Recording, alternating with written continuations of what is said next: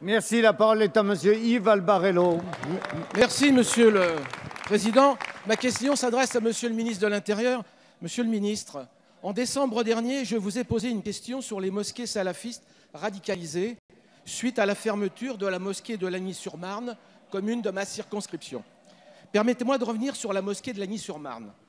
Plusieurs démarches juridiques des musulmans pour faire réouvrir ce lieu de culte ont toutes échoué. La dernière en date a été rejetée par le tribunal administratif le 30 septembre dernier. À la suite de cette fermeture, les prières de rue se déroulent cinq fois par jour sur l'espace public. Malgré plusieurs saisines du maire, courriers, rendez-vous en préfecture et au ministère, la situation s'enlise et les prières continuent à se faire devant une école de la République dans un quartier prioritaire de la politique de la ville. Cela doit cesser. La ville de Lagny-sur-Marne est laissée seule face à ce problème national. L'État doit agir.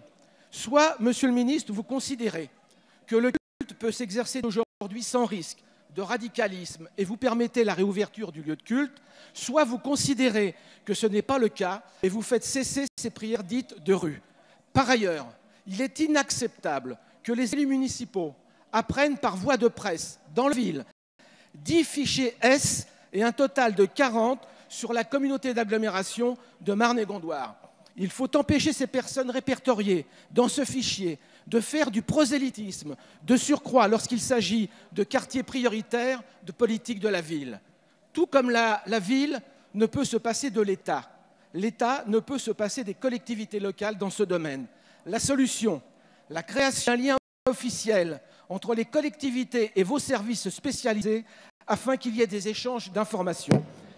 Mais actuellement reste le problème des prières de rue. Alors ma question est simple. Quand allez-vous donner l'ordre à la police nationale de faire cesser ces prières dans les rues de Lagny-sur-Marne La parole est à Monsieur Bernard Cazeneuve, ministre de l'Intérieur. Monsieur le député, je veux profiter de cette question, nous en avons souvent parlé ensemble, pour apporter un certain nombre de précisions.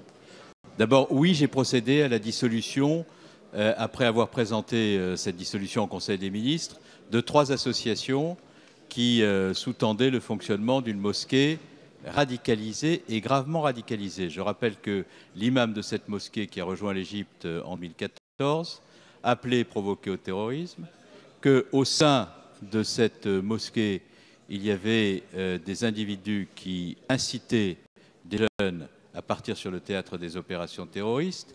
Et lorsque j'ai procédé à la dissolution de ces associations, euh, après que le Conseil des ministres euh, en a décidé du principe avec l'appui très fort du président de la République et du Premier ministre, il y a eu des commentaires par voie de presse, je ne sais pas si vous en souvenez, des commentaires notamment de collectivités locales qui s'interrogeaient sur la pertinence de cette décision. Donc je tiens à vous redire ici très solennellement que, aussi longtemps que ce gouvernement agira et que je serai dans ma responsabilité, nous fermerons les lieux de culte dans lesquels on appelle et provoque au terrorisme. Premier point.